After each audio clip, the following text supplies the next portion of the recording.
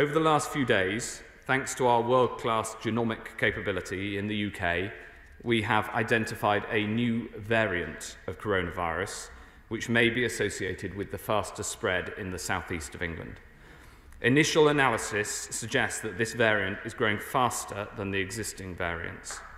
We've currently identified over a thousand cases with this variant, predominantly in the south of England, although cases have been identified in nearly 60 different local authority areas. Similar variants have been identified in other countries over the last few months.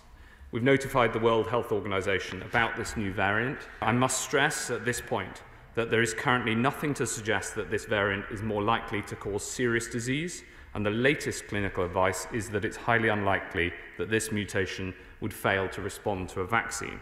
But it shows we've got to be vigilant and follow the rules, and everyone needs to take personal responsibility not to spread this virus.